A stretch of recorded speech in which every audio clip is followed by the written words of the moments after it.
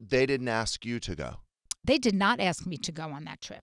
In fact, it's funny because when I turned down doing Legacy, I said, you know, you shouldn't even do it this way. You should do it as a Ultimate Girls trip because we're all in different places. Who wants to watch us, you know, for we're not the same as we were 15 years ago. And I don't know if that's what people want to see. I think they want to see where we are now and having fun or whatever.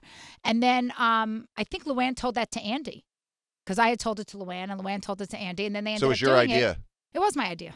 It's Yeah. absolutely my idea. But I mean, it wasn't like a a genius great idea. By It was the a good way, it idea. wasn't genius. It was in front of everyone's nose. I mean, they had, were already doing Ultimate Girls trips. It's not like I re- invented anything special. But I did think it was a better way to see the Housewives. I just um, they didn't ask me to do it. I would not have done it had they asked me, and I think that's that's why they did not ask me.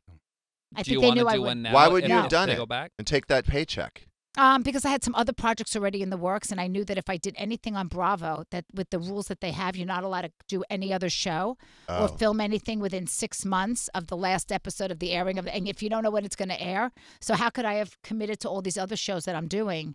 Um, Right. If I had done that a year ago, I'd still be locked in the contract right now. I So couldn't have started anything, and I've already, have I've already filmed shows that I could not have filmed had I done that show.